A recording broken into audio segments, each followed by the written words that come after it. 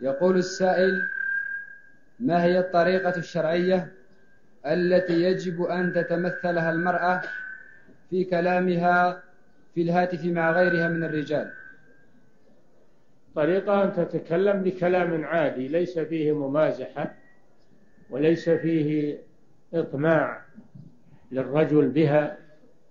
قال تعالى فلا تخضعن بالقول فيطمع الذي في قلبه مرض. وقلنا قولا معروفا يعني كلام عادي ما فيه طمع لصاحب الريبة أو صاحب الشهوة وإنما تكلمه بكلام عادي بقدر الحاجة.